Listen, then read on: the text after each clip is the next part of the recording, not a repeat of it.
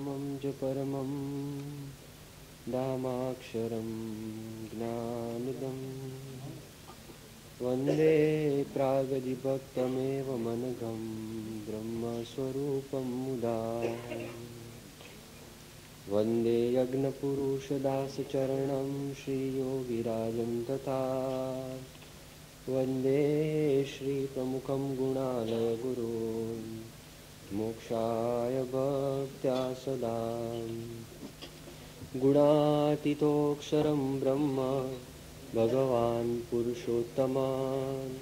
जनो जानुमिदं सत्यं मुच्यते भवबन्दनात् सदान् स्वामी महाराज अक्षर पुरुषोत्तम महाराज जय। भगि महाराज शास्त्री महाराज जय। योगी महाराज પ્રમુખ સ્વામી મહારાજ અક્ષર બ્રહ્મ ગુણાતીતાન સ્વામી દ્વિશતાબ્દી મહોત્સવની સ્વામિનારે વચનામૃત ગરડા પ્રથમ પ્રકરણનું ઓગણપચાસમું અંતર દ્રષ્ટિનું સ્વામિના રે સંવત અઢારસો છોતેરના મહાસુદી ચૌદશને દિવસ સંધ્યા સમય સ્વામી શ્રી સહજાનજી મહારાજ, શ્રી ગરડા મધ્યે દાદા ખાજરના દરબારમાં, શ્રી વાસુદેવ નારાયણના મંદિરની આગળ, લીમડાના વૃક્ષ હેઠે, ઓટા મધ્યે ઢોલિયા ઉપર વિરાજમાન હતા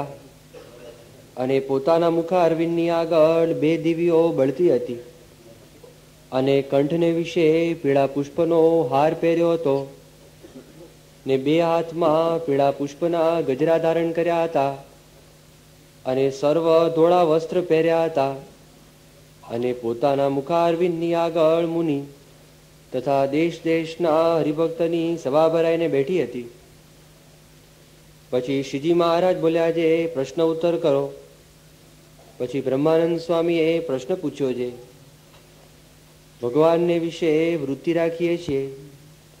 તે તો સુધી જોરે કરીને રાખીએ છીએ ત્યારે રહે છે. અને જગતના પદાર્થ સન્મુખ તો એની મેળે જ રહે છે, તેનું શું કારણ છે?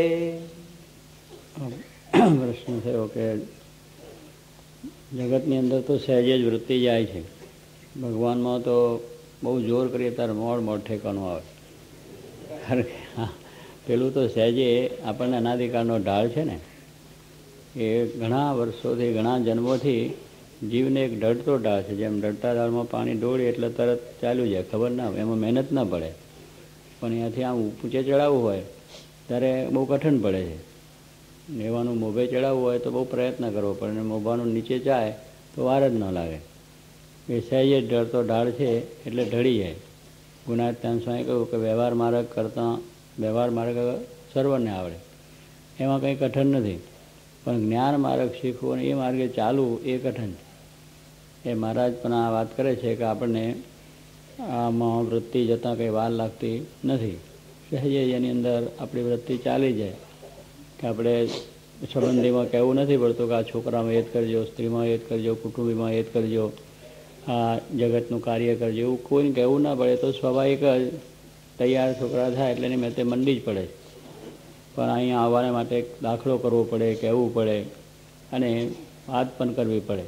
વારે વારે પણ વાત કરવી પડે. કારણ કે આપણે જાણીએ છીએ કે કડવા વેલા છે, નકામું ઘાસ છે, એ ખેતરમાં આમ થૂમથું ઉગે. પણ સારો છોડ ઉછેરો હોય બહુ મહેનત કરવી પડે. ફળવ ઝાડ હોય, સારો વૃક્ષ હોય, સારા ફૂલ ઝાડ હોય, એ બધાને એને ખાતર, પાણી, નીંદો, પાછું ઢોર, બોર આગું પાછું ન થાય, કોઈ માણસ નુકસાન ન કરે, એ બધી જાળવણી બહુ કરવી પડે. અને નકામું ઘાસ તમે કાઢી નાખો તો પાછું ઉગે. અને વેલા આમથા આમથા કડવા વધે. મીઠા વેલા વધારવા બહુ વાર લાગે. એમાં જગતનો ઢાળ છે, એમાં માણસની વૃત્તિ સહેજે ચાલી જાય કારણ કે અનાધિકાળથી એ વસ્તુ કરતો આવ્યો જીવ. જીવને અનાધિકાળથી માયાનો સંબંધ છે, એટલે માયા સાથે જોડાતો કંઈ વાર ના લાગે. એમાં પ્રયત્ન પણ ન પડે. સહેજે એમાં વૃત્તિ ચાલી જાય. અને આ ભગવાનને માર્ગે બધી કેટલો દાખલો કરવો પડે, કેટલું કહેવું પડે. ત્યારે એ વસ્તુ છે. સત્સંગના માર્ગે ચડાવતા કઠણ પડે. પણ આમાંથી ડળી પડતા કંઈ વાર લાગે? જરા સ્વાગત થઈ આવ્યો પછી થઈ ચાલ્યો જાય દાખલો આપણે ઘણો કર્યો હોય, પણ છતાં સહેજમાં ટણાઈ જાય મને. એમ અહીંયા આપણે વાતચીત બીજું ત્રીજું કલાકો સુધી થતી અને એક સહેજ જ પાંચ મિનિટ જો એવો બહારનો જોગ થઈ ગયો કે એના પ્રવાહમાં તણી જાય, એમાં વાર ન લાગે. એટલે સ્વામી કે આ માર્ગ છે એ કઠણ એનું શું કારણ છે? એટલા માટે મહારાજ કહે છે. હમ. પછી શ્રીજી મહારાજ બોલ્યા, જે ભગવાનના ભક્તો હોય તેની વૃત્તિ તો ભગવાન વિના બીજે રહે જ નહીં. મહારાજ તો કહ્યું કે ભાઈ ભગવાનનો ભક્ત છે, કે જેને ભગવાનને જ રાજી કરવા છે, ભગવાનનો ભક્ત આપણે મહારાજે આમ આપણે કેટલા માણસો મંદિરમાં જતા હોય દેવ દર્શન કરતા હોય, બધા પાઠ પૂજા રાતોરાત ભજનો બહુ રાતોરાત ગાતા હોય, એવા પણ છે ભક્તો. એટલે એને કોઈ ભક્ત ત્યારે આ મહારાજ પોતે ભક્તની વ્યાખ્યા સમજાવે છે, ઓગણીસના વચનાર્થમાં વડતાલનું કે આ પૃથ્વીને વિશે, આ ભરતખંડને વિશે જ્યારે જ્યારે મનુષ્યનો અવતાર આવે છે, ત્યારે ભગવાન કા સંત જરૂર વિચરતા હોય. એનું જેને ઓળખાણ થયું એ ભક્ત. ભક્ત એટલે આપણે મંદિર જતા, દેવ દર્શન કરતા, પાઠ પૂજા કરતા કરતા બધું સારું, સંસ્કારની વસ્તુ છે. પણ ખરેખર ભક્ત કોને કહેવાયની વ્યાખ્યા મહારાજ સમજાવે છે કે ભરતખંડમાં આપણો મનુષ્યનો અવતાર, ત્યારે ભગવાનને સંત પણ હોય જ. જરૂર વિચારતા મહારાજે લખ્યું છે કે ભગવાનને સંતના અવતારો પણ હોય છે, આપણો અવતારો એમનો હોય, પણ એ વખતે જ્યારે એમનું ઓળખાણ થાય, ઓળખાણ એટલે આ જાય છે સ્વામિનારાયણના સાધુ કા ફલાણા જાય છે, એવી વસ્તુ નહીં. ઓળખાણ એટલે કે એને તત્વે સહિત.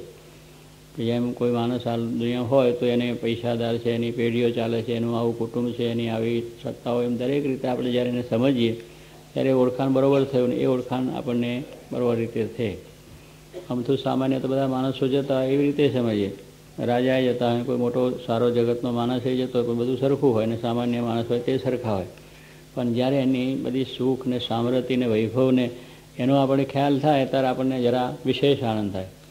એમ આપણે પણ જો આ રીતે ભગવાનને સંતને તો આપણા જેવા જ હોય, એટલે એ રીતે સમજતા હોય તો કે એનું સુખ કે આનંદ આવે નહીં.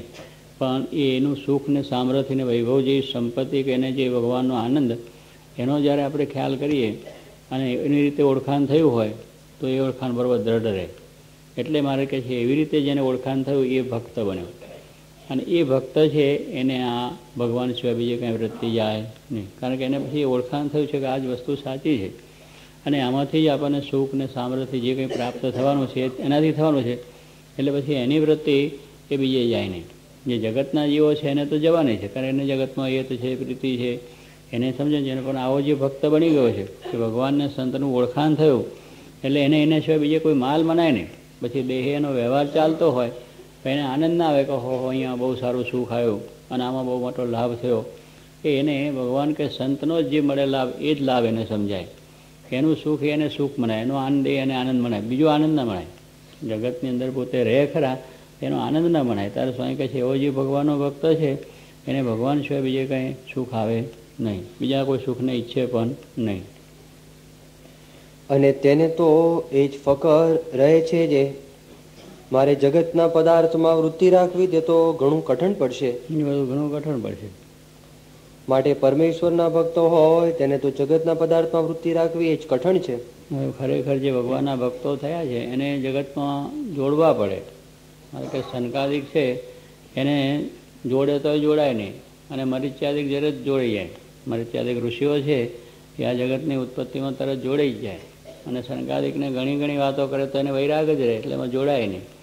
એમ ભગવાનનો ભક્ત છે, એને એમ જ કે આ ભગવાનને અંદર જ એની વૃત્તિ અખંડ રહે, એટલા એવા જોયા છે કે આમાં વ્યવહારમાં કહેવું પડે કે બરોબર ધ્યાન રાખજો બરોબર ખ્યાલ રાખજો, એમ કહેવું પડે. કારણ એની વૃત્તિ એવી રહે છે કે ભગવાન ભજવા, ભગવાનનું સુખ લેવું, વ્યવહારમાં વૃત્તિ જ ઓછી હોય, એવા પણ કેટલાક છે. ત્યારે જે ખરેખર આ ભક્તો છે, એને મારે કે આ રીતે ભગવાનમાં વૃત્તિ રહે. એને વ્યવહારમાં જોડવા પડે ને પહેલાંને જોડવા ના પડે સહેજે જોડીએ. આપણે વાત કરીએ તોય જોડીએ. ત્યારે એમ સ્વામી કહે છે કે એવા ભગવાનના ભક્ત છે એને ભગવાનમાં જ વૃત્તિ અખંડ રહે છે. અને જે જગતના જીવ છે તેને પરમેશ્વરમાં વૃત્તિ રાખવી તે ઘણી કઠણ છે. પેલાને આમાં રાખવું કઠણ પડે છે.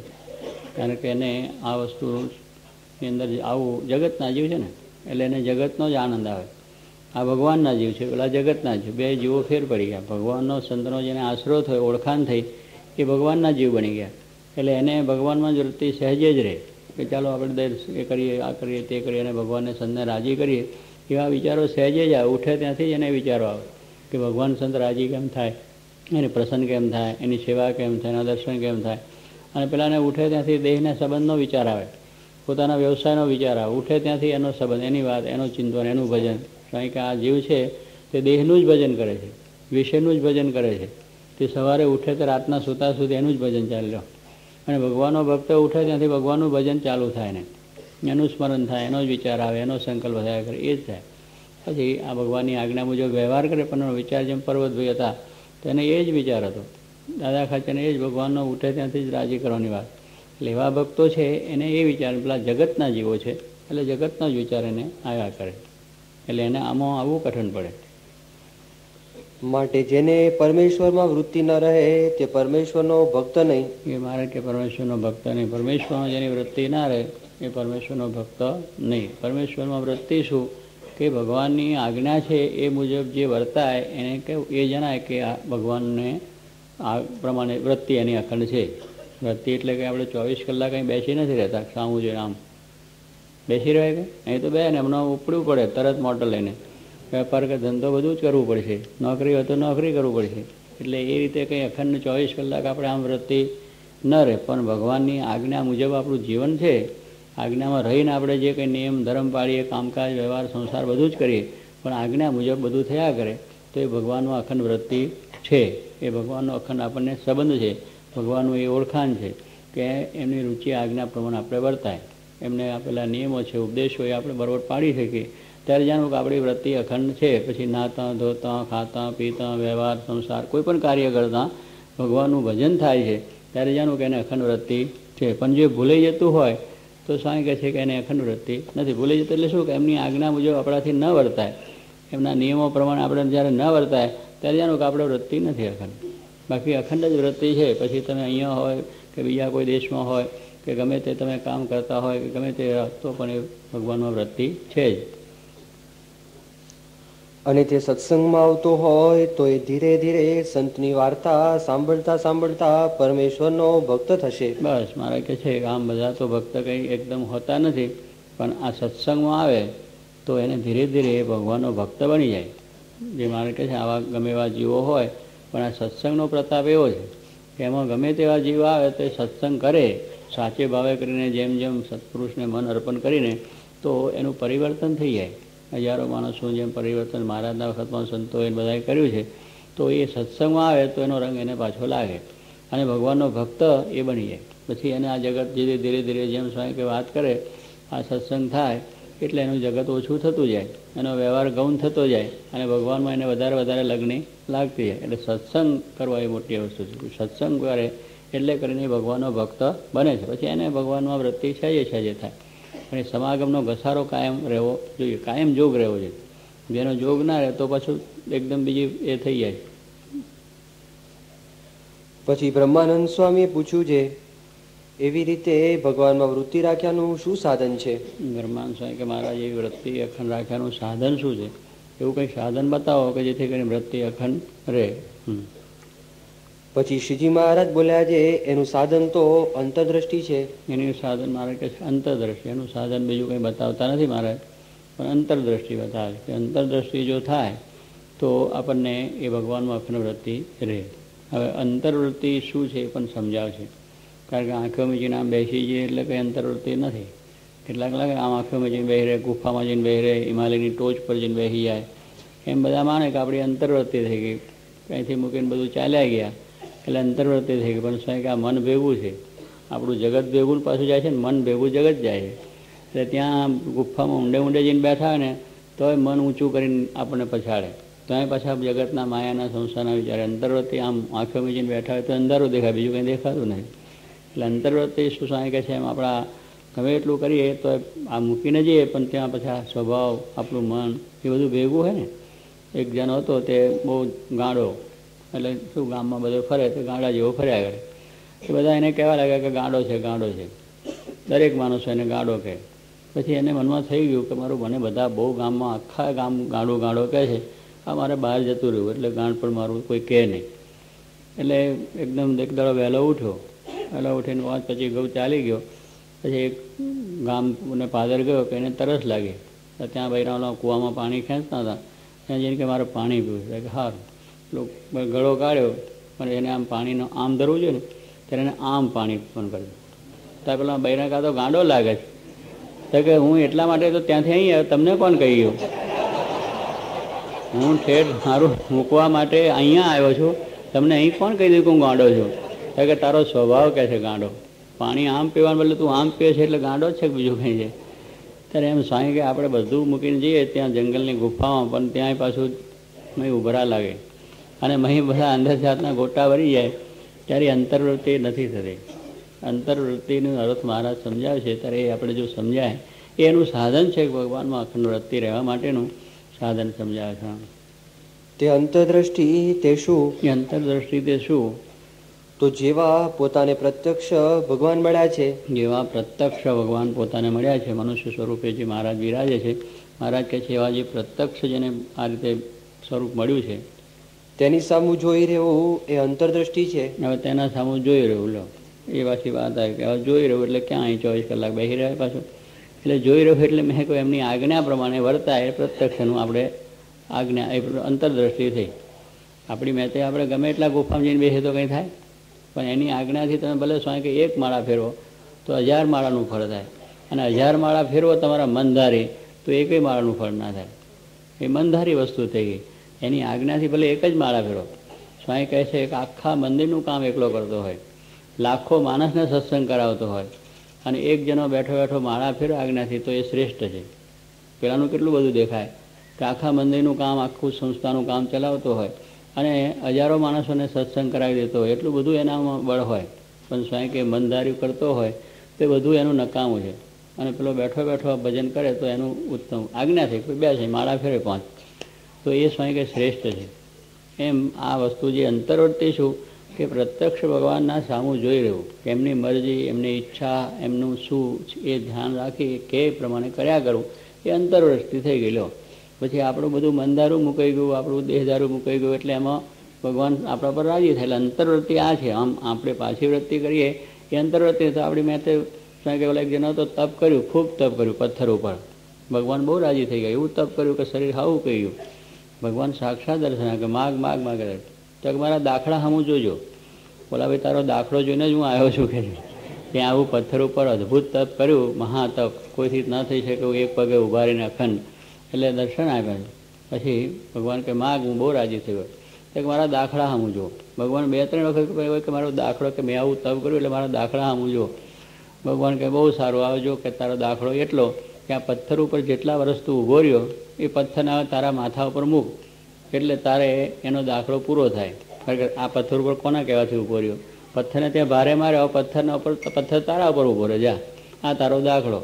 હજુ એ દાખલા સામું જોવાનું કંઈ છે નહીં, ભગવાન છે. એ જેમ રાજી થાય એમ કરવાનું, લ્યો, આ તો કે મારે દાખલા સામું જોયું. એના દાખલા સામું જોવાનું.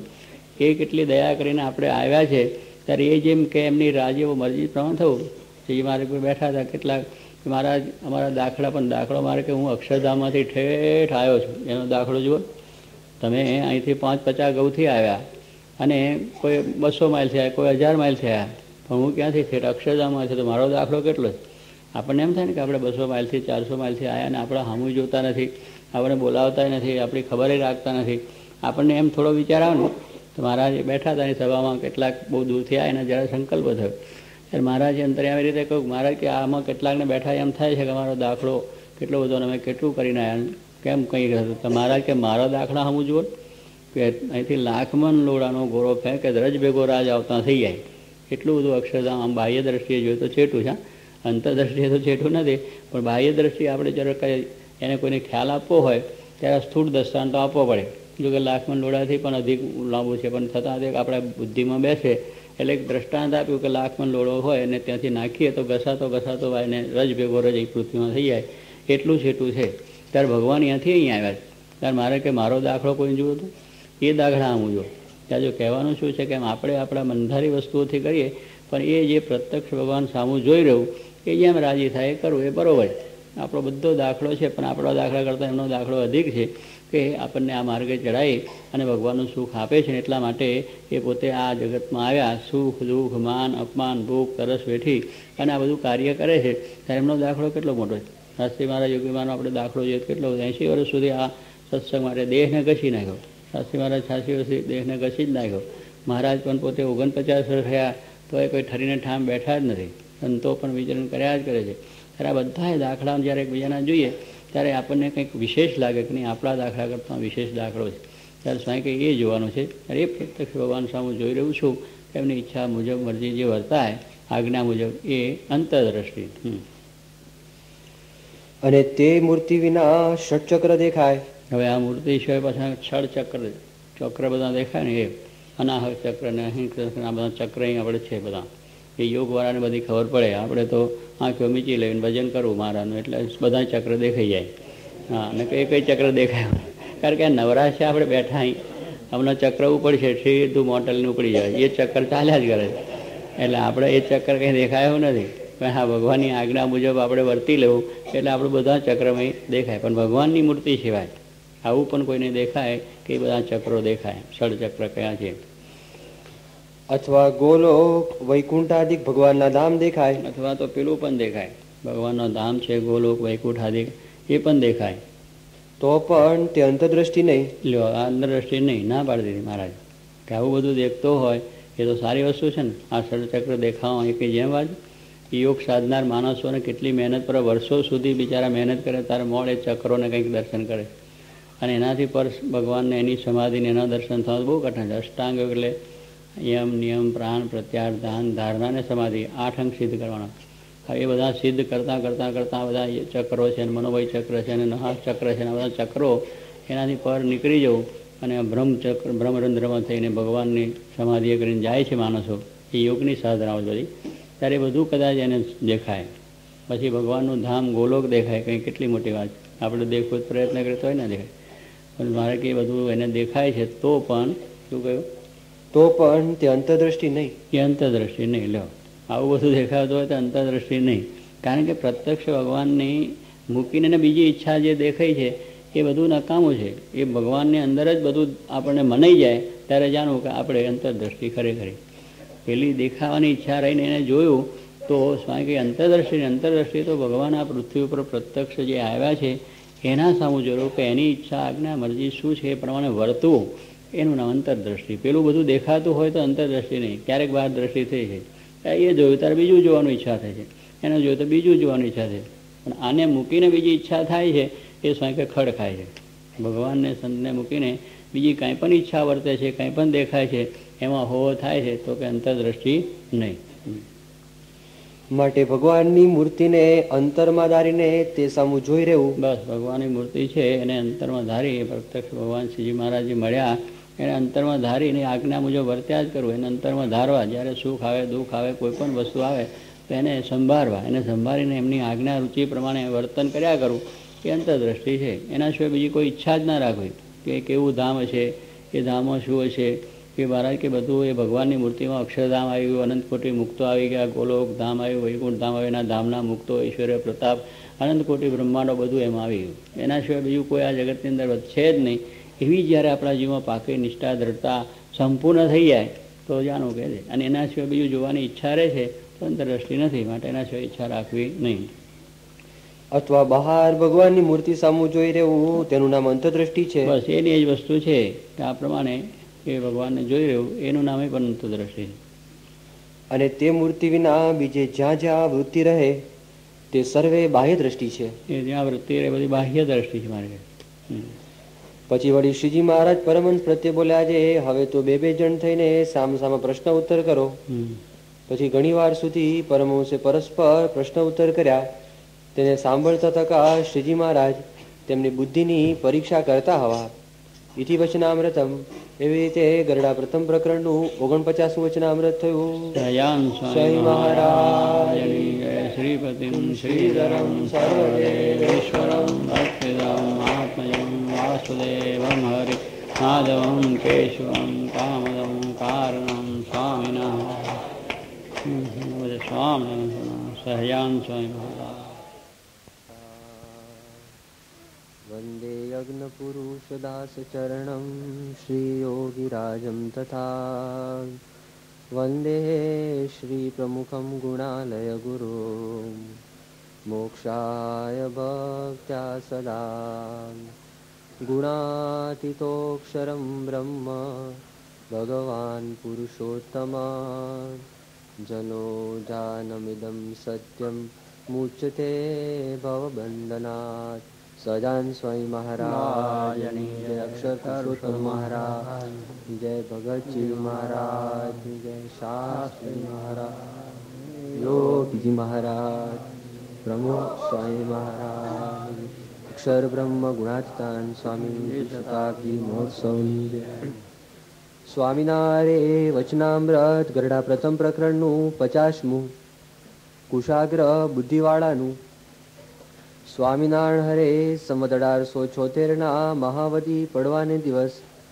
શ્રીજી મહારાજ, શ્રી ગરડા મધ્યે દાદા કાચનની મેળીની ઓસરી આગળ. પ્રાતકાળે વિરાજમાન હતા અને સર્વ શ્વેત વસ્ત્ર ધારણ કર્યા હતા અને પોતાના મુખારવિંદની આગળ મુનિ તથા દેશ દેશના હરિભક્તની સભા ભરાઈને બેઠી હતી. પછી શ્રીજી મહારાજે મુનિ પ્રત્યે એમ પૂછ્યું છે કે જેને કુશાગ્ર બુદ્ધિ હોય તેને બ્રહ્મની પ્રાપ્તિ થાય છે. તે કુશાગ્ર બુદ્ધિ તે જે સંસાર વ્યવહારમાં બહુ જાણતો હોય તેની કહેવાય કે નહીં? અથવા શાસ્ત્ર પુરાણના અર્થને બહુ જાણતો હોય તેની કહેવાય કે નહીં? પછી તેનો ઉત્તર મુનિએ કરવા માંડ્યો પણ થયો નહીં. ત્યારે શ્રીજી મહારાજ બોલ્યા છે, કેટલાક તો વ્યવહારમાં અતિડાયા હોય. તો પણ પોતાના કલ્યાણાર્થે કાંઈ જતન કરે નહીં. મહારાજ સમજાવે છે કે કુશાગ્ર બુદ્ધિ કોને કહેવાય? કુશાગ્ર એટલે આપણે કુશ જે ડાબ આવે છે ને, દેશમાં બધા જાણતા હોય, કદાચ અહીં ના ખબર હોય, પણ કુશ એટલે ડાબ અને ડાબની આગળનો અણીનો ભાગ. એટલે એટલી સૂક્ષ્મ, એટલી ઝીણી બુદ્ધિ નહીં કે આ બહુ ઝીણી બુદ્ધિવાળો છે. અગર જેને બહુ કંઈક અતિશય સારો બુદ્ધિવાળો છે, એટલે એવી એની ઝીણી બુદ્ધિ હોય કે દરેકના કાર્યમાં એને બહુ જ સૂઝ પડી જતી હોય. વેપાર કરવો હોય તો પણ એમને કંઈ બુદ્ધિમાં આમ ખ્યાલમાં આવી જાય કે આ રીતે વેપાર કરીએ તો આટલો નફો થાય, આટલું આમ થાય. અગર આગળથી બધો ખ્યાલ એને આવી જાય, બજારમાં જીવન અમથો વેપાર આમ સહેજ કરી લે, એ બુદ્ધિ વાપરી દે કે એમાં લાખો રૂપિયા મળી જાય. આપણે વરસ દાડો મહેનત કરીએ તો ભેગું ના થાય. અને કેટલાક એવા બુદ્ધિવાળા હોય છે તો રાજ ચલાવવાની પણ એવી સારી બુદ્ધિ હોય છે. વ્યવહારની પણ કુશળતા હોય છે. ભણવામાં પણ એવા બુદ્ધિવાળા હોય છે, બસ એક વખત વાંચી લીધું તો યાદ રહી જાય એને. અને એ પ્રમાણે બોલી પણ જાય. એટલે એ સરસ બુદ્ધિ પણ હોય એટલે શાસ્ત્રનું પણ એક રીતનો સારો અભ્યાસ હોય, સારું જ્ઞાન પણ ધરાવે, સારી રીતે કહી શકે, અને એ રીતની બધી કુશળતાઓ જેને આપણે કહીએ છીએ દુનિયાની દ્રષ્ટિએ, એવી બધી જાતની બુદ્ધિ હોય, તેને બુદ્ધિવાળો મારે કંઈ કહેવો કે ન કહેવો આ પ્રશ્ન છે. કારણ કે આપણી દ્રષ્ટિમાં તે બુદ્ધિવાળો જ ગણાય. કારણ કે આવી રીતે બધી રીતે કુશળતા જેમાં હોય, એને કંઈ બુદ્ધિવાળો જે ન જ ભણેલો હોય, જેને કોઈ કશી ગતાગમ ન હોય, કંઈ આવડત ન હોય વ્યવહાર કરવાની ન હોય ને પૈસા કમાવાની ન હોય ને કોઈ પ્રમાણનું વિદ્વતાય ન હોય ને પંડિતાય ન હોય ડિગ્રી કોઈ ના ધારણ કરે. એટલે કહીએ કે આવો મૂર્ખ છે કે એને કંઈ ખબર નથી. એટલે આ દ્રષ્ટિ આપણી દુનિયાની દ્રષ્ટિ છે. હવે ભગવાનને શાસ્ત્રોની દ્રષ્ટિ શું છે? કે બુદ્ધિવાળો કોને કહેવો? એ વાત અહીંયા સમજાવે છે. કે બુદ્ધિ કોને કહે? ત્યારે સ્વામી કે મહારાજ ઉત્તર કરે છે કે કેટલાક તો વ્યવહારમાં બહુ જ ડાયા હોય લો. વ્યવહારમાં ઉત્પ્રોત એવા થઈ ગયા હોય કે સરસ રીતે પોતાનો વ્યવહાર ચલાવે. અને સારી રીતે વ્યવહાર કુશળતા પણ હોય. પણ એને આ પોતાને જે આત્મ જ્ઞાન મેળવવું ને એ માર્ગે ચાલવું કે તો આત્માનું કલ્યાણ કરવું એને ખબર ન હોય. કે આપણું આત્માનું કલ્યાણ શા વતે છે, એવી પાછી બુદ્ધિ ન હોય. વિનાનાથ ભટ્ટની જેમ વાત કરી કે વિદ્વતા ખરી, પણ આત્મકલ્યાણ માટે શું છે? શ્રીજી મહારાજ જ્યારે સમજાયું, ત્યારે એમને ખબર પડી કે આત્માને માટે આ વસ્તુ છે. કે સત્પુરુષને વિશે આ દ્રઢ પ્રસંગ કરવો એના થકી આપણું કલ્યાણ થાય છે? એવી વાત એમને સમજાય બાકી આમ વ્યવહારની વિદ્વતા બહુ હતી. અને એમ સ્વામી કહે છે, ઘણા ઘણા એવા બુદ્ધિવાળા જગતની અંદર હોય છે અને એ રીતની બુદ્ધિથી કામ કરે છે, પણ પોતાનું કલ્યાણ શા વતે છે, એનો ખબર ન હોય. મોક્ષ વસ્તુ છે એ શું એની ખબર ન હોય. એટલે વ્યવહારની અંદર બુદ્ધિ બધી વાપરે. પણ પોતાનું કલ્યાણ શા વતે છે, એનો ખ્યાલ જ ન હોય. એ કાર્યમાં કોઈ એને ખબર જ ન હોય. આખી જિંદગી પોતાની પસાર થાય, પણ આનની ખબર જ ન હોય, ત્યારે બુદ્ધિવાળો નથી. સમજે એ બુદ્ધિ એને કંઈ કામમાં આવતી નથી. રાજાના કારભારી જેવી સ્વામીએ બુદ્ધિ કહી કે રાજાનો કારભાર એટલે બધું જ સમજી શકે. પણ ભગવાન સંત શાવતે રાજી થાય છે કે પોતાનું આત્મકલ્યાણ શા વતે છે એ જો માણસ જાણતો નથી, તો એને બુદ્ધિવાળો કયો નથી. એટલે મારે કહે છે કે કેટલાક માણસ તો વ્યવહારમાં અતિ ડાયા હોય, બહુ સારા ડાયા હોય, પણ કલ્યાણનું જતન કરી શકે નહીં. કે પોતાનું કલ્યાણ શા વતે છે અને આત્માનો મોક્ષ શા વતે છે, આત્માનો મોક્ષ શેના વતે છે એની ખબર ના હોય. એમને એમ ગાડું ચાલ્યું જાય એનું. પણ પોતાની આ ખબર ન હોય. ત્યારે આ બધું આપણે કરી કરીને કરવાનું તો શું છે કે આપણા આત્માની મુક્તિ શા વતે થાય એટલા માટે મનુષ્ય દેહ મળે મનુષ્ય શરીરનો ઉપયોગ જ એ છે કે આ દેહની અંદર એક આત્મા તત્વ રહ્યું છે, એ આત્માની મુક્તિ થાય. અનાધિકારથી આત્માનું બંધન છે. અને એટલા માટે જન્મ મરણ જન્મ રહે છે. કારણ કે આપણી જે વાસના રહે છે, એ વાસના એ કરીને જીવ બંધાણો છે, એટલે બીજો જન્મ એને લેવો જ પડે છે. જો એ વાસના એની છૂટી જાય તો ભગવાનના ધામને પામી જાય અને એટલા માટે એ આત્માનું જ્ઞાન એને થાય. અને એ ભગવાનની એવી ભક્તિ કરે તો એની સર્વ પ્રકારે મુક્તિ કારણ કે આપણી જે વાસના રહે છે, એ વાસના એ કરીને જીવ બંધાણો છે, એટલે બીજો જન્મ એને લેવો જ પડે છે. જો એ વાસના એની છૂટી જાય, તો ભગવાનના ધામને પામી જાય અને એટલા માટે એ આત્માનું જ્ઞાન એને થાય. અને એ ભગવાનની એવી ભક્તિ કરે તો એની સર્વ પ્રકારે મુક્તિ થઈ જાય છે, આત્માનું બંધન છૂટે છે. એ આ બુદ્ધિવાળો છે એને ખબર પડે. બાકી જે આ જગતની બુદ્ધિવાળો એને તો ખબર જ ના પડે. એ તો જેને કે આ બધું કરીએ છીએ, એને બધું ઓરમહોત્સવ કરીએ છીએ, એટલે કંઈ બીજો જન્મય નથી ને બીજું કંઈ આપણે કરવા નથી, તો આ દેહ પૂરું થઈ ગયું. એમ કરીને પોતે ભોગવ્યા કરે. જ્યારે આપણે માનીએ છીએ કે ભાઈ આત્મા એવું તત્વ છે, અને એ આત્માને જે વાસનાના બંધને કરીને એ અનેક યોનીને એ જીવ પામે છે, અને ફરતો ફરતો છેલ્લા એને આ મનુષ્ય એક દેહ આપવામાં ભગવાન ભગવાન આપે છે. કે જેને કરીને આપણે આત્માની મુક્તિ કરી શકીએ. કારણ કે મનુષ્ય શરીરમાં એક બુદ્ધિ તત્વ છે, એનાથી એને ધર્મ, અધર્મ, સત્ય, અસત્ય આ બધું ઓળખાય. અને સાર અસારની ખબર પડે છે, એટલે અસારમાંથી વૃત્તિ તોડીને ભગવાનમાં કરે, એટલે એને કરીને એની મુક્તિ થાય છે. એટલે એ મનુષ્ય શરીરે કરીને જ આપ મુક્તિ થઈ શકે છે, બીજા દેહ થતી નથી. ત્યારે એટલા માટે મારે કહે છે કે જેને બુદ્ધિ છે, બુદ્ધિ એટલે જે પોતે ભગવાનને, સંતને ઓળખે છે અને જેના વતે કલ્યાણ કલ્યાણ પણ એના વતે શાસ્ત્રોમાં પણ બતાવ્યું છે ને કે બધા ચાર વેદ ખટશાસ્ત્ર અઢાર પુરાણ ભારતાદિક ઇતિહાસ સર્વ એ જ વાર્તા છે, ભગવાને ભગવાનના સંત. એ જ કલ્યાણકારી છે. બધા શાસ્ત્રોનો સાર છે કે આપણું આત્માનું કલ્યાણ એ ભગવાનને સંત વતે થાય છે. કે બીજા કોઈ સાધને કરીને થઈ શકે એમ નથી, કે બીજા કોઈ દેહે કરીને થઈ શકે નથી. આ દેહે થાય છે અને એ થાય છે પણ ભગવાનને સંતના પ્રતાપે કરીને. એને આપણે જો છે આત્મબુદ્ધિ થાય, તો આપણું કલ્યાણ થાય. પહેલાં સાતમાં પણ મહારાજે કહ્યું કે જેને પોતાનું કલ્યાણ ઈચ્છવું એને ભગવાનને સંતે કોઈ સુખદાયક વસ્તુ નથી. એટલે આ બે વસ્તુથી જ આપણું કલ્યાણ છે.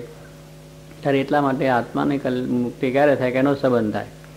એનું ઓળખાણ આપણને થાય, એને વિશે આપણને પ્રીતિ થાય, તો પ્રીતિ એ કરીને આપણી મુક્તિ થઈ જાય. જગત બોલી જાય અને પ્રીતિ એમ થઈ એટલે બુદ્ધિ એ છે કે જે ભગવાનને સંતને ઓળખી શકે.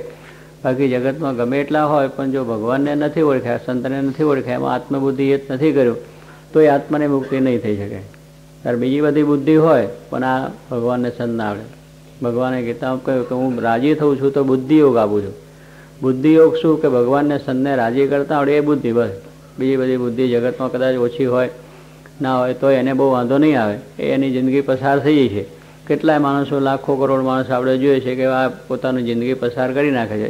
એનો ભગવાન ચલાવે છે. કાંઈ આવડત ન હોય, કંઈ ડાપર ન હોય તો પણ પોતાના રોટલા કમાય છે ને પોતા પોતાની જિંદગી પૂરી થાય. પણ આ જે નથી ઓળખ્યું, તો સાંઈ કંઈ નકામું છે. એટલે આ બુદ્ધિ જો નથી, તો પેલી બુદ્ધિ ગમે એટલી હોય તો પણ નકામી છે. એટલે સ્વામી કહે છે, આ પ્રમાણે વ્યવહારમાં મારે કે બહુ ડાયા છે, પણ કલ્યાણનું જતન ના કરી શકે. કે આપણું કલ્યાણ શા વતે છે, એનો ખ્યાલ આખો જો ના આવ્યો, તો એ બધું વ્યર્થ ગયું, નકામું ગયું, પાણીમાં ગયું. જેમ કંઈ પેલા જિંદગી આખી પાણીમાં ગઈ, તરતા નથી આવડ્યું તો નહીં, આપણે દ્રષ્ટાંત આપ્યું હતું કે એ પ્રમાણે પેલા શેઠ જતા હતા, નાવને, નાવિકને પૂછ્યું કે ભાઈ આ તારા દરિયામાં કેટલું ઊંડું છે તને ખબર પડે? તો કે તો ખબર ના પડે તો આજ તો નાના છોકરાઓ ભણનારા પણ જાણે ખગોળ ખગોળ કે દરિયો કેટલો ઊંડો પહોરો છીછરો બધું ખબર પડી જાય. ઘડિયાળ જોતા આવડે તો ઘડિયાળ જોતા નથી આવડે કારણ નાવને બીજા નાવિક ચલાવતો હોય નાવડું. આ કિનારો પેલો કિનારો કરે ને સવારે ઉઠે ને બપોરા માથે આવે, ત્યારે બાર વાગ્યા છે ને આ નમ્યો દિવસ તો હાજ પડી ગઈ, એવું જ ગણે એ નથી આવડતું. કે તારી જિંદગી બધી પાણીમાં અડધી પાણી ગઈ. પછી નાવ જ્યારે ડૂબવા લાગ્યું, ત્યારે શેઠને પૂછ્યું, તમારે તરતા નથી આવડતું, તમારી આખી ગઈ.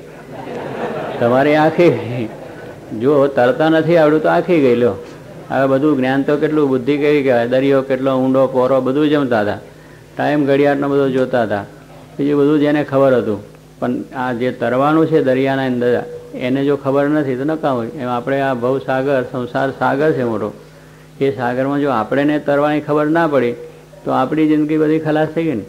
પછી પેલી બુદ્ધિ શું કામ આવી? પૈસા કર્યા ને બંગલા કર્યા ને મોટરો કરીને એ અસારામને ઘણું ઘણું બધું પ્રાપ્ત કરી દીધું પણ છતાં સ્વાઈ કહે છે કે બધું પાણીમાં ધોયું સંસાર સાગરમાં ડૂબ્યો જ એ તરી શકશે નહીં. પણ જો ભગવાનને સંતના એની અંદર જો બેસી ગયો, તો એનાથી એનો આશરો કરી લીધો તો એનું નાવ તરી જવાનું છે, પાર થઈ જવાનું છે. ત્યારે કહેવાનું શું એમ સ્વાઈ કહે છે કે આ રીતે બધી બુદ્ધિ છે, પણ આ બુદ્ધિ નથી તો નકામ નથી. ત્યારે એટલી બુદ્ધિ પ્રાપ્ત કરે. બુદ્ધિ યોગ ભગવાનને સંત એ રાજી કરતા આવડે એનું નામ બુદ્ધિ.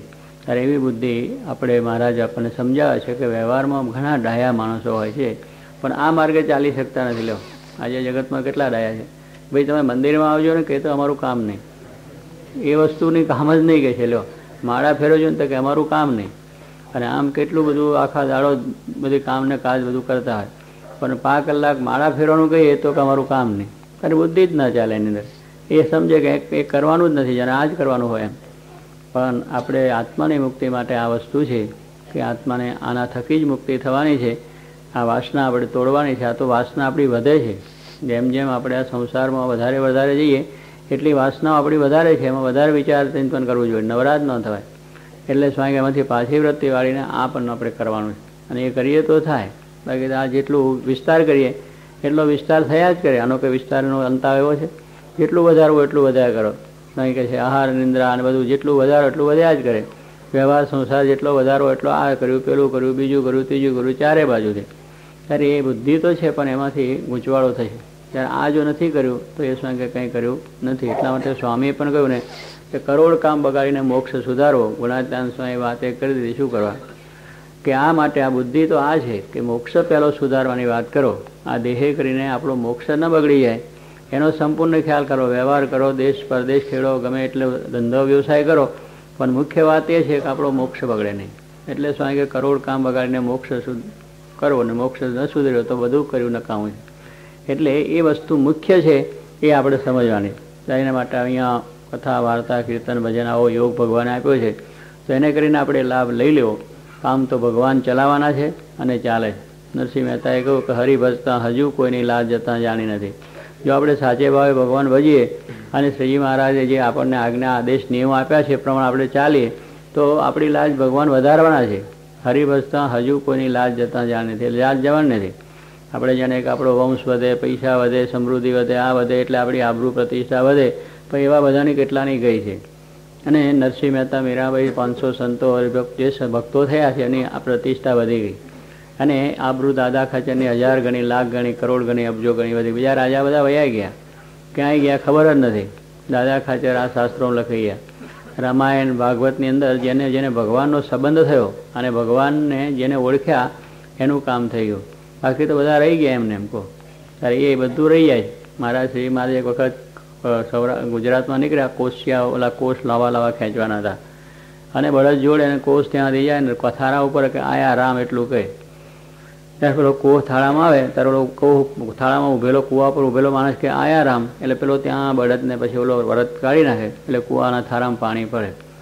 એટલે એવો એક રિવાજ કે ભાઈ રામ આયા એવું તેવું. પહેલાં આપણે બધા રામ શબ્દ, ભગવાનનો શબ્દ, સંબંધ દરેકમાં આવે, એવી આપણી પ્રથા નામ પણ એવું બધું આપણે પણ ભગવાનના નામ જેમ આવે, એવું નામ પણ આપણા બધા પાડતા. અત્યારે એવા નામ પાડે છે આપણે ખ્યાલ ન રહે. અને એવા બધા નામ આવી ગયા. કે કંઈ મોં માથા વગરની વાત હોય, કે એમાં ભગવાનનો કોઈ સંબંધ જ ના આવતો હોય. એવી કંઈક જુદી પદ્ધતિ નામ.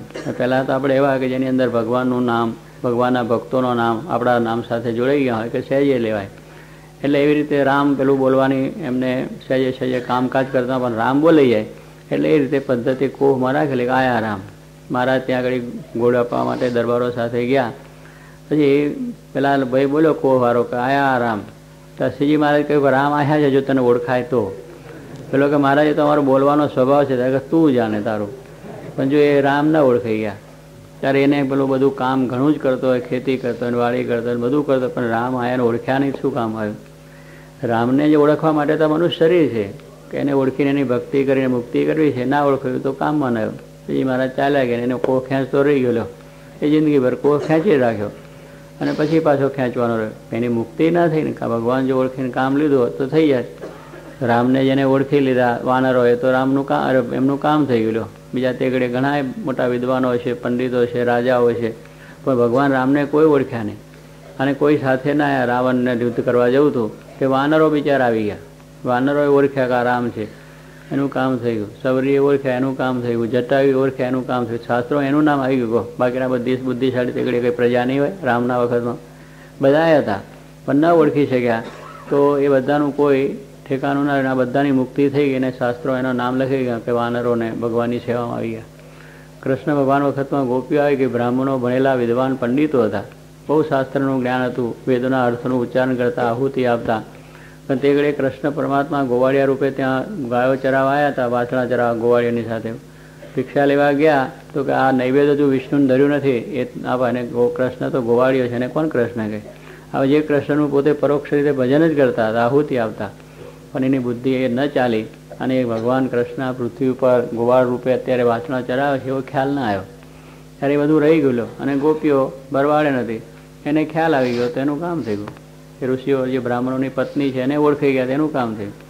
એમ આ પ્રમાણે શ્રીજી મહારાજના વખતમાં પણ જેને જેને ઓળખાઈ ગયા, એનું કામ થઈ ગયું અને એને આ પ્રમાણે થયું મુસલમાન ભાઈ એક હતી, મહારાજ ભાલમાં નીકળ્યા અને દાંતન કરવાની ઈચ્છા થઈ હવે દાંતન કરવાની ઈચ્છા થઈ એટલે એને મહારાજે કહ્યું મારે દાંતન કરું સવારના પોરો મહારાજ તો ભાલ છે, અહીં તો એક પણ બાવર ના મળે અને ઝાડ પણ ના મળે.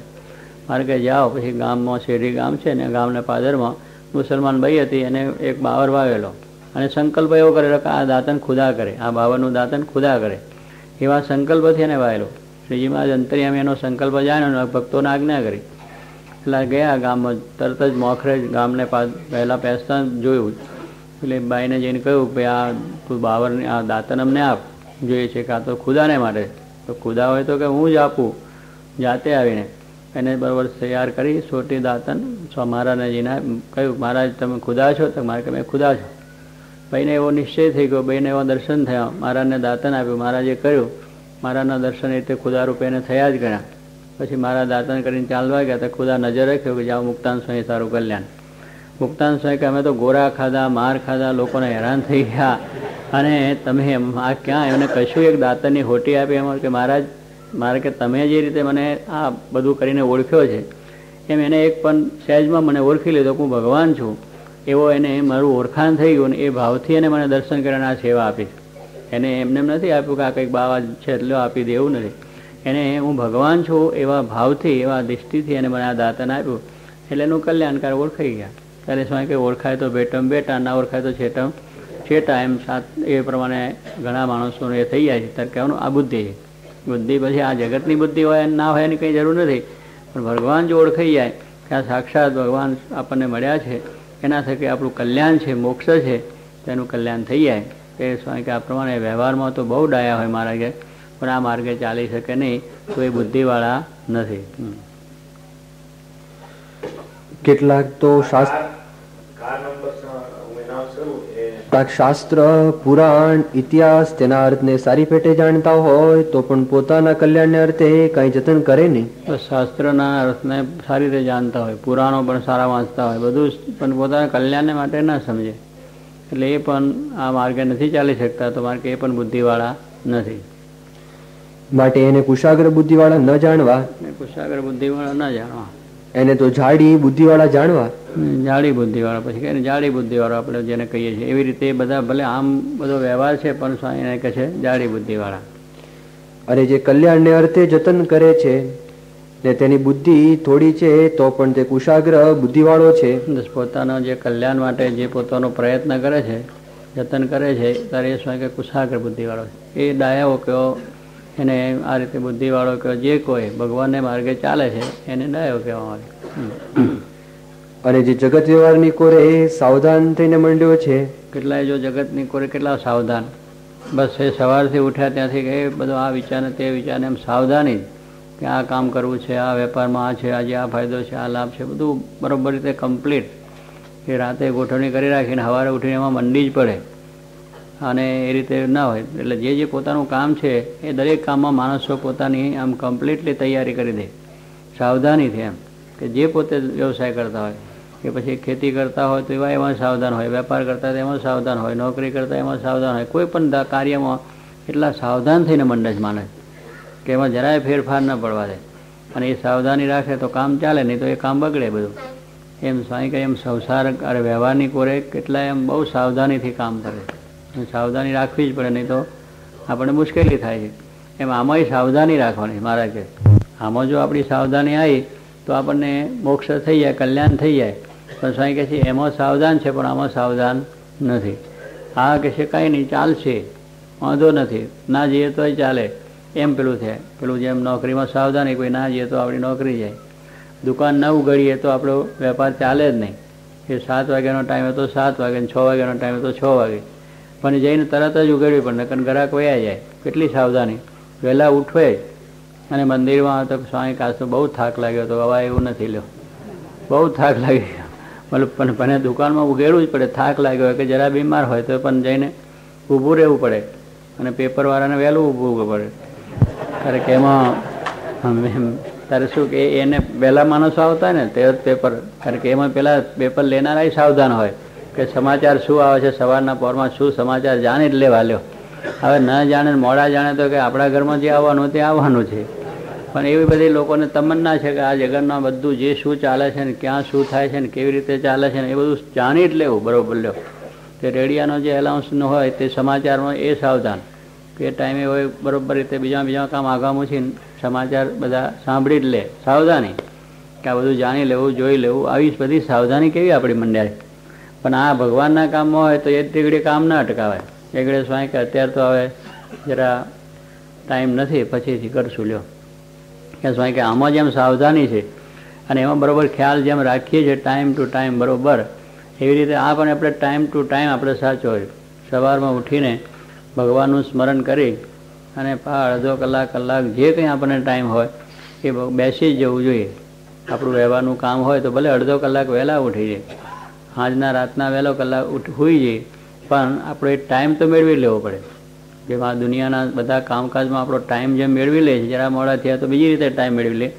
પણ આમાં પછી ટાઈમ મેળવી લેવો. નાવા ધોવાની ક્રિયાઓમાં જરા ઝપટ રાખવી.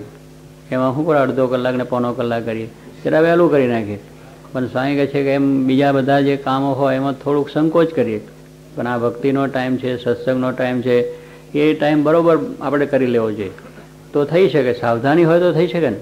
પણ અસાવધાની છે એટલે એમાં કાંઈ નહીં. ના કરીએ તો ચાલે પાંચ માળ. આજે નહીં ફેરવીએ તો કાલે ફેરવીશું પછી આળસ પેઠું એ વધ્યું કે પછી કાલે પાછું એવું ને એવું થઈ પડે. તો કે આજ નહીં તો કાલે. ફરી ચડતું જાય પછી. મહારાજ કે પેલું નામું ચડી જાય માણસને, પછી આળસ વધતું જાય ને નામું ચડતું જાય ને પછી આખા વર્ષનું ભેગું થાય ને કાંઈ ખબર ના પડે. એ માણસનો ધંધો બરોબર ચાલે નહીં. નામું નામું ચોખ્ખું ના રાખે. એનો વેપાર શું થાય? ખોટમાં આવીને ઉડે એમ આપણને આ ખોટ જતી જ જાય. જેટલા દાડા આપણે ગયું કે આ ચાલશે એટલે ગયું. બે દાડે ચાલશે તો ગયું, પણ એમાં મારે કંઈ સાવધાની કરવું જ જોઈએ, બસ. એ ટાઈમ એવો મેળવી લેવો છે કે સવારે ઉઠીને ભગવાનનું સ્મરણ કરીને પાઠ પૂજા કરવી. કેટલાય માણસો બહુ પ્રવૃત્તિવાળા હોય છે, તો પણ પોતાનું આ જે ભજનનું કામ છે, એ ચોક્કસ કરી લેવું. નંદાજીની વાત આપણે કરીએ છીએ કે એને શ્રીજી શાસ્ત્રી મહારાજે જ્યારે વર્તમાન ધરાયા નિયમ આપ્યું, એકાવન વાળા અને શિક્ષાપત્રી વાંચવીને રાત્રે ચેષ્ટા કરીને શું વચનાવતે આ નિયમ એનું અત્યાર સુધી ચાલે, લ્યો. એને તો ઘણી વચ્ચે પ્રવૃત્તિ મોટી વડાપ્રધાન તરીકે આવી ગયા. ગૃહપ્રધાન તરીકે પ્લાનિંગ મિનિસ્ટર તરીકે થઈ ગયા, એટલે બધું ઘણું કામ, ઘણી અપોઇન્ટમેન્ટ ઘણો વ્યવસાય બધો હતો. પણ છતાં એનું આ નિયમ એટલે નિયમ એ વસ્તુમાં જરાય ચૂક્યા નહીં. હજુ અત્યારની ઘડી સુધી આજની એને મોટી પંચ્યાસી વર્ષની ઉંમર થઈ છે. પણ એ નિયમ જે આપ્યું છે, એમાં સાવધાની પૂરેપૂરી એમ. પછી એમાં ખાવાનું, એક વખત રંબાલાલ સારાભાઈ ત્યાં પાર્ટીને બધું જમવાનું હતું તૈયાર થયું. બધા બેઠા ને એને યાદ મારી આજે શિક્ષાપત્રી વંચાઈ નથી, કંઈક વહેલા નીકળી જવાનું થયું છે. એટલે કહ્યું, મારે શિક્ષાપત્રી વાંચી એટલે જમાશે ને. પેલા અંબાલાલ સાહેબે કે, આ તમે વળી ક્યાં જૂનવાણી જેવા માણસ અત્યારે આ માથાકૂટ, માળા ફેરવીને, આ કરવીને બધું એ ટકના, એ મારું નિમ છે એટલે નહીં જાણે. તે પોતે ના જમે લ્યો. ત્યારે એને કંઈ વાંધો ના આવ્યો એ નિમ કરીને શિક્ષાપત્રી વાંચીને પછી જ જમ્યા. એટલે કહેવાનું શું છે કે આ સાવધાની. આપણને તો થોડું જ કામ હોય તો શું કે મારે બહુ જ કામ હતું, લ્યો. ક્યાંય નહીં, ત્યાં જઈને ઓફિસમાં જઈને અમથા બેઠા જ રહેતા હોય. એમાં બીજું કાંઈ ન કરતા હોય. મારે તો ભાઈ અહીં તમારે તો ફાઇલો ફરતી છે, પણ અમારે તો ઇન્ડિયામાં તો ફાઇલો પડેલી જ હોય. ડગલો જ. આખા દાડામાં કામ શું કરે કે દસ ફાઇલો આમથી લઈને આમ મૂકે એટલું જ કામ. બસ, પછી ચા આવે તો ચા પીવે અને મારા તમારા જાય તો વાતો કરે. અને પછી એના પર જ્યારે વેટ મૂકે ત્યારે ફાઇલ પાછી આગળ જાય.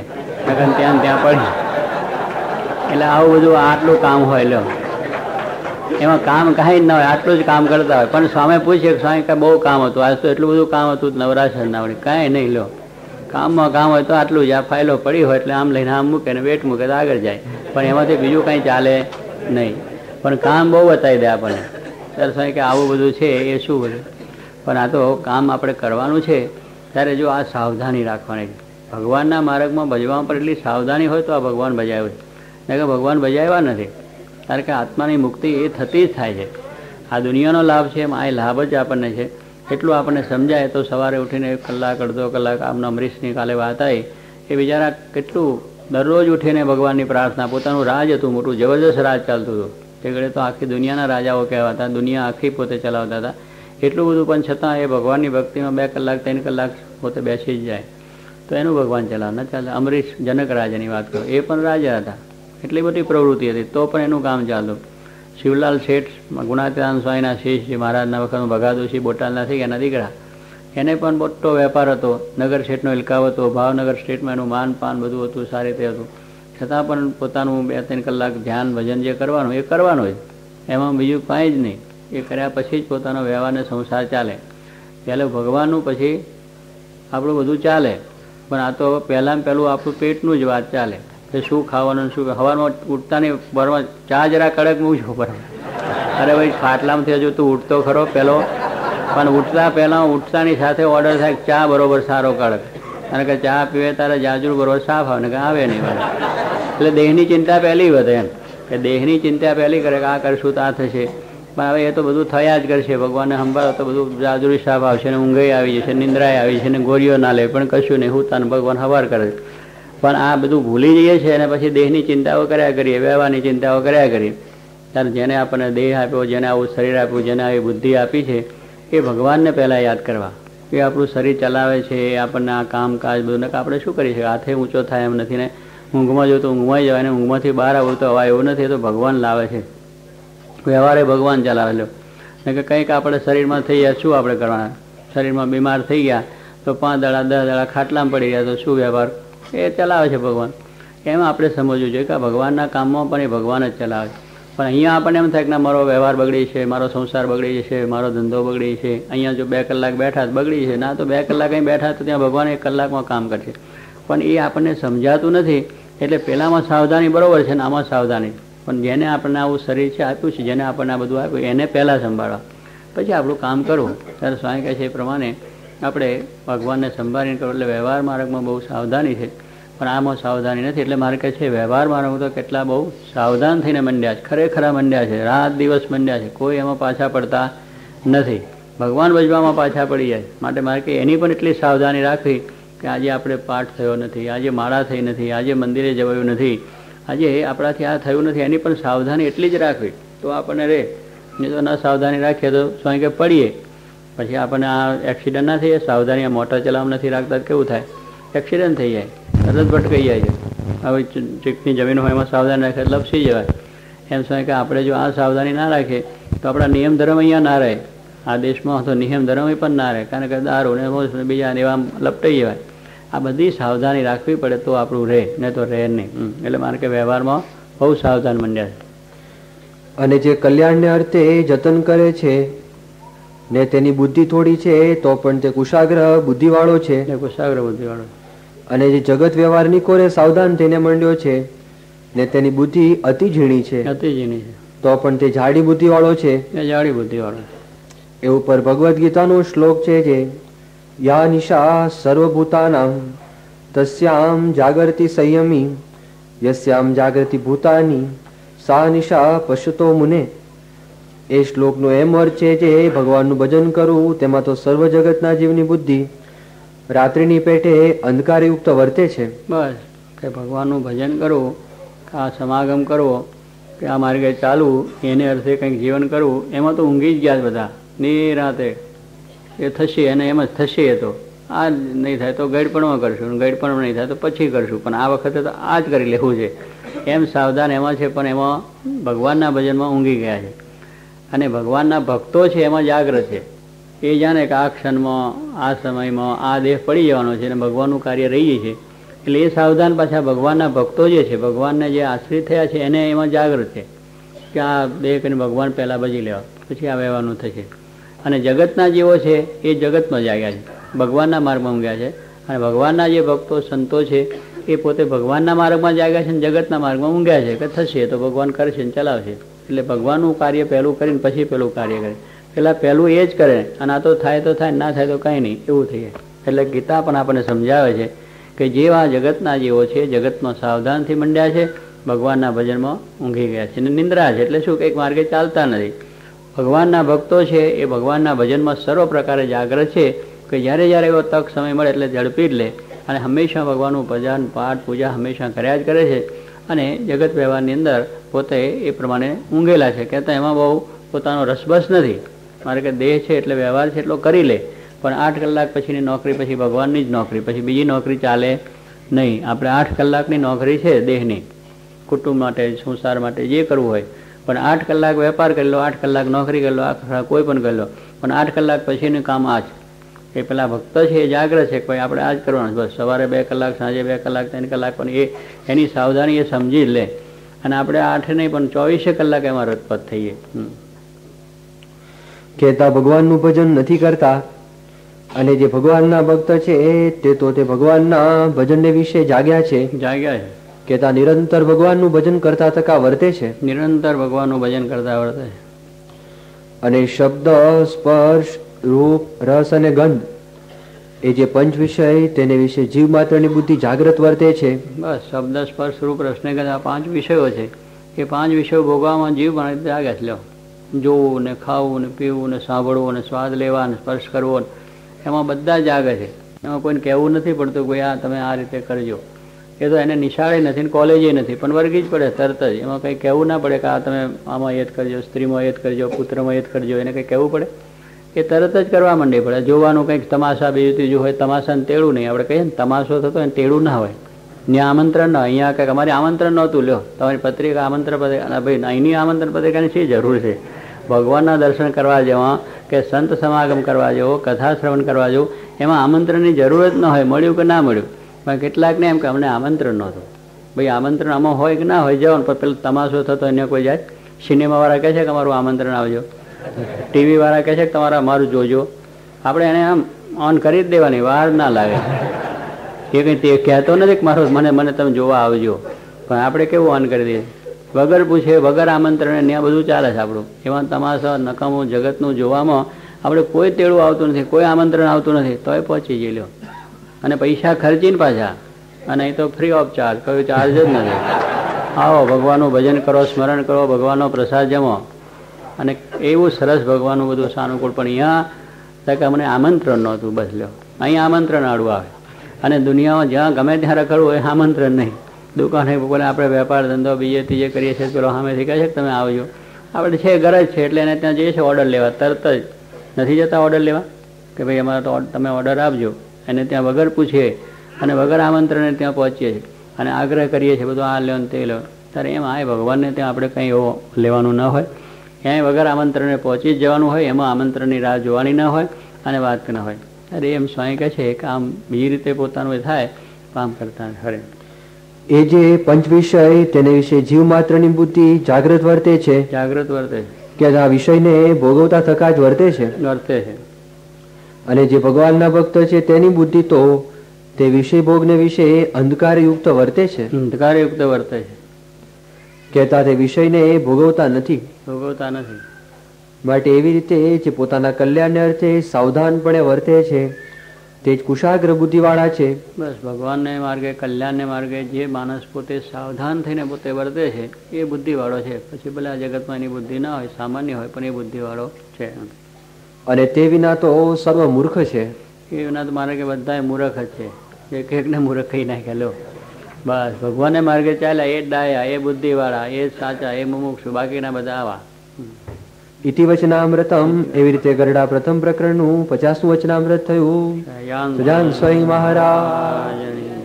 શ્રીપતિમ શ્રીધરમ સર્વદેવેશ્વરમ ભક્તિધર્માત્મજમ વાસુદેવમ હરે માધવમ કેશવમ કામદમ સયાન સ્વયં